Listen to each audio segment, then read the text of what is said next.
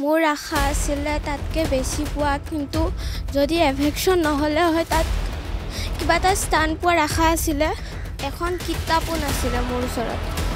মানে ওলাইছিলেও যদি ঘৰটো যেতিয়া ভাঙি গ'ল গোটেইখিনি তলত সোমাই গুচি গ'ল হাতত এখনো কিতাপ নাই নিজৰ বুলিবলৈ ঘৰখনো নাই। বুলডোজাৰে ভাঙি দিলে ঘৰখন। ৰিজাল্টৰ দিনা শিক্ষাৰ্থীৰ চকুত চকু। পানী টেষ্ট পেপাৰ পঢ়ি পঢ়ি দিব লগা হ'ল মেট্ৰিক পৰীক্ষা।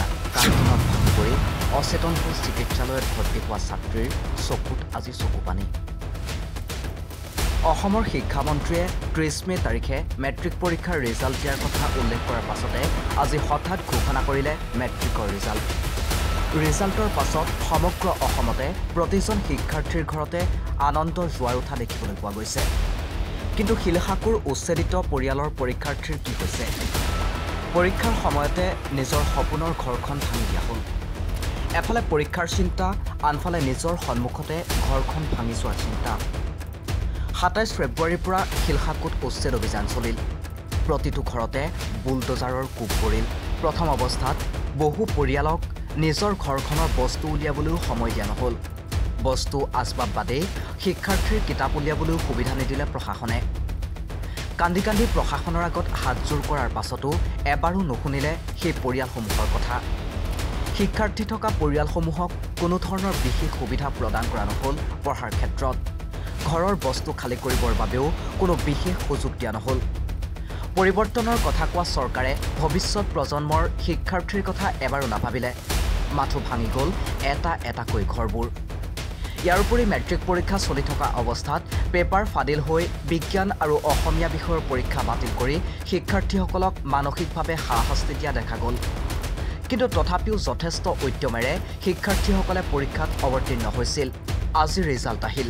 শিলশাকুৰ উচ্ছেদিত পৰিয়ালৰ চকুত চকু পানী। ছেবাই আজি ঘোষণা কৰিলে মেট্ৰিকৰ ফলাফল। ফলাফল মুকলি হোৱাৰ দিনাই শিলশাকু উচ্ছেদিত পৰিয়ালৰ চকুত দেখা গ'ল চকু পানী। কিয়নো ভবাৰ দৰে নহ'ল উচ্ছেদিত পৰিয়ালৰ শিক্ষাৰ্থীৰ ফলাফল। যিদৰে আশা কৰিছিল সেইদৰে ফলাফল লাভ নকৰিলে। ইয়াৰ বাবে দুখ প্ৰকাশ কৰিছে পৰিয়ালসমূহে।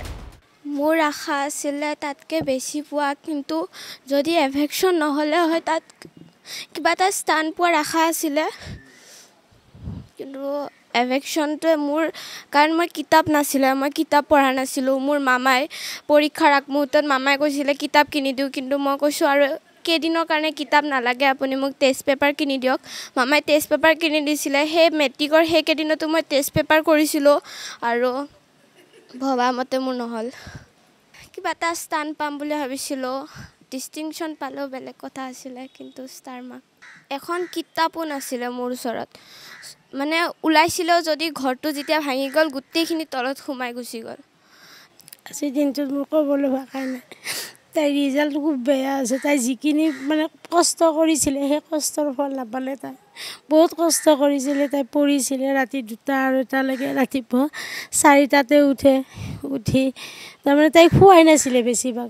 পঢ়িছিলে ভাল এটা ৰিজাল্ট কৰিম বুলি কটনত পঢ়া আশা এটা আশা আছিলে। কিন্তু ফল নহ'ল আৰু তেনেকুৱা। এতিয়া বিশেষকৈ থাকিবলৈ ঘৰো নাই আমাৰ। এতিয়া ভাড়া ঘৰ ল'বলৈও আমাৰ হাতত তেনেকুৱা উপাৰ্জন মানে ঠাই নাই।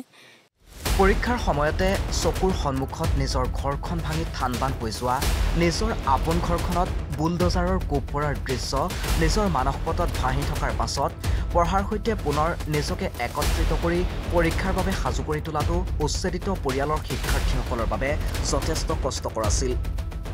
ইয়াৰ পাছতো পৰিস্থিতিৰ সৈতে মোকাবিলা কৰি নিজকে পৰীক্ষাৰ বাবে প্ৰস্তুত কৰিছিল শিক্ষাৰ্থীসকলে। আজি দেখা গ'ল তেওঁলোকৰ চকুত চকুলো। নিজৰ ঘৰখন হেৰুওৱাৰ পাছত এতিয়া ভাড়াঘৰত থাকিবলৈও টকাৰ অভাৱ। নিজাববীয়াকৈ ঘৰখন নিৰ্মাণ কৰাটো বাদেই ভাড়াঘৰ এটাও ল'ব পৰা নাই উচ্ছেদিত বহু পৰিয়ালে।